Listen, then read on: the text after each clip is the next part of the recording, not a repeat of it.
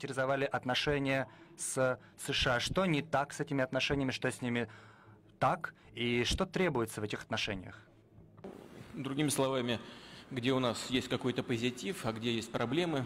А, Начнем с проблем.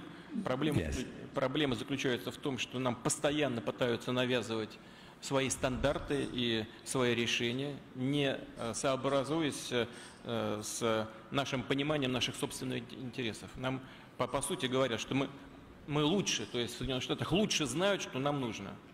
Позвольте нам самим определить наши интересы и наши потребности, э, исходя из нашей собственной истории, из, из нашей культуры. Пожалуйста. How are they doing that? Каким образом они это делают? Каким образом Соединенные Штаты пытаются определить, что вам нужно, что вам требуется? Вмешиваясь в наши политические, внутриполитические процессы, э, в том числе через, э, через финансирование неправительственного сектора, на- навязывая решения в сфере э, международной безопасности. Вот я упоминал, допустим, о проблеме, с которой мы столкнулись первый раз, и, и это э, сразу охладило наши отношения. Ирак. Ну, помните тезис, кто не с нами, тот против нас. Это что, диалог?